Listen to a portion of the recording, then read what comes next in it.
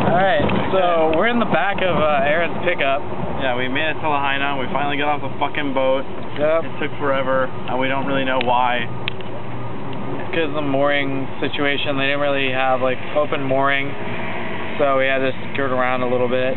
Woke up this morning to our last final quote unquote crisis, which was just uh, the fact that we almost hit someone. We Almost hit another boat because we were fucking anchored improperly, Yeah, Cause- so because the cause the- anchor didn't catch. and the coach let out way too much line.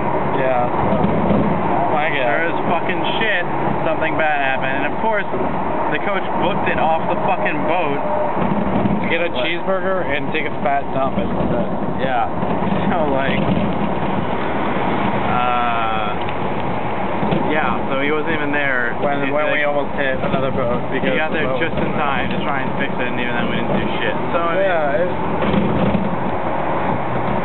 bush league, but you know, here we are in, in beautiful Lahaina. yeah. We just had our first uh, set of Hawaiian food at a restaurant. Yeah, I had a and it was- Hawaiian mixed plate. We both did, and it was fucking great. So uh, happy, really happy about that. Uh, tonight we're gonna be hanging out, staying with Aaron, who's local, and uh, Pedro, and just uh, we'll see how it goes. Yeah, I mean, until then, we're basically just cruising around in the back of his pickup. It's not illegal here, which I love. Uh, we'll see how this works out.